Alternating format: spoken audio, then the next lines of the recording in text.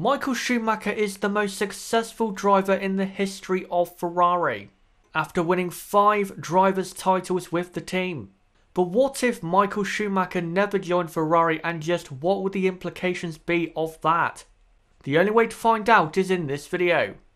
But first off, let's go through what happened in our timeline. So first off, Michael Schumacher in 1994 and 1995 won the driver's title with Benetton. But then he decided to join Ferrari in 1996 and as they say, the rest is history. So what if Michael Schumacher never joined Ferrari? Well, first off, he would have stayed at Benetton because Benetton were much better of an operation at the time compared to Ferrari, and Benetton still in 1996 and 1997, I would say had a faster car compared to Ferrari.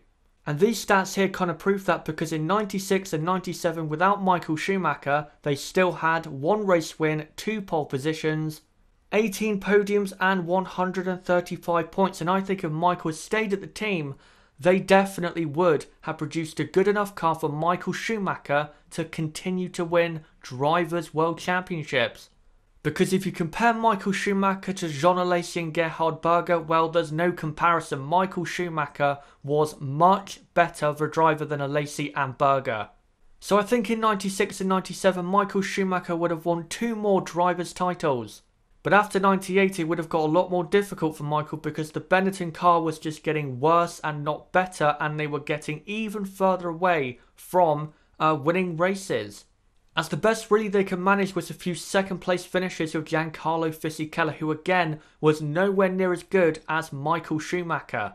And this is what Benetton did between 1998 and 2001. They had no race wins, one pole position, seven podiums, and 79 points. Now, even though Michael Schumacher would have done a lot better at Benetton between 1998 and 2001, the Benetton car was really bad, especially in 2001. I don't think Michael would have won the championship between those years. So instead of Michael Schumacher winning the title in 2000 and 2001, I think Mika Hakkinen would have won the title in 2000 and then David Coulthard in 2001. As McLaren, I think, would have been a lot more dominant. The car was just way too slow and the team was also falling apart. And was soon to become the Renault Works team in 2002 and I think Michael Schumacher would have left for McLaren for 2002. I don't know why I just can't see Michael Schumacher ever driving for a Renault Works team. It just doesn't really make any sense to me. So, in my opinion, Michael Schumacher would have joined McLaren in 2002 and would have raced with McLaren until probably 2006. And yes, I do think he would have retired at the same time he did in our timeline because I don't think Michael had enough left in the tank. And I think Michael at McLaren would have won a couple of world championships because despite the McLaren car not being the best, it was good enough in 2003 and 2005 to, you know, contend for the world championship. And with Michael Schumacher in that car and with the whole team built around him, I think Michael would have been winning the 2003 and 2005 drivers' titles. But I don't think Michael Schumacher would have won the title in 2002 and 2004 like he did in our timeline. So in 2002, I think it would have been Juan Pablo Montoya, and then in 2004, I'm going to go for Jenson Button. But again, I think he would have called it quits at the end of 2006 because I think he just lost the motivation to drive Formula One cars. But more importantly, what would have been the effects on the Scuderia Ferrari team? With again Michael Schumacher in our timeline being the most successful driver in the Scuderia's history. And these stats right here between 1996 and 2006, which is when Michael Schumacher was driving for the team, this is what they did with Michael during that time. So they had 87 race wins, not just of Michael Schumacher, but also Eddie Irvine and Rubens Barrichello, and also Felipe Massa. They also have 71 pole positions, 203 podiums, and over 1,000 points. And in that 10 year period, Ferrari were the best team in F1. There's no real doubt about it. I know that Williams won championships and McLaren and Renault did, but Ferrari at times, especially in 2002, 2004, and probably 2001, were just unstoppable. They were a machine. And one of the most successful teams in the history of the sport.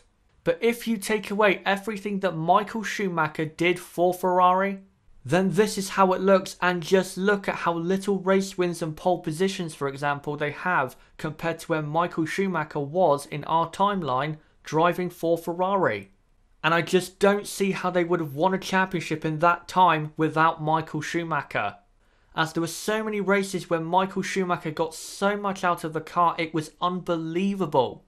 And I don't think other drivers out there would have been able to get what he got out of the car. So in those 10 years without Michael Schumacher, I don't see how Ferrari win a driver's or constructor's title. I just don't see it at all. But now let's get on to how this affects all of the other drivers in this time again if Michael never went to Ferrari. First off, I think Alesi and Berger would have remained at the team because I think Ferrari did quite like them. But Berger would have retired probably the end of 97 as a Ferrari driver. Alexander Wurz most likely would have never drove for Benetton because I don't think he would have been accepted by Michael Schumacher as his number two and Giancarlo Fisichella I think would have been Michael's number two driver at Benetton because Michael Schumacher was very picky over who his teammate was. And I don't think he would have gone for Wurz. But of course if Michael went to McLaren in 2002 what would have happened to Kimi Raikkonen? Who in our timeline left Sauber in 2001 and went to McLaren in 2002. I think instead of him going to McLaren, Kimi Raikkonen would have gone to Ferrari. Because at this point, Ferrari would most likely be looking for the next superstar in the sport. And in 2001, Kimi Raikkonen was so impressive in that Sauber, so I think Kimi would have gone to Ferrari in 2002 and not 2007. With Michael being at McLaren until 2006, though, I think that kind of guarantees that Juan Pablo Montoya would have never joined the team as Michael Schumacher and Juan Pablo Montoya absolutely hated each other. I don't see how these two could have coexisted in one team. It would have been the most toxic teammate atmosphere I think we've probably ever had in a team. Even more so than Ayrton Senna and Alain Prost, it would have been so, so bad. So instead, in my opinion, David Coulthard would remain at McLaren until 2006, also with Michael Schumacher.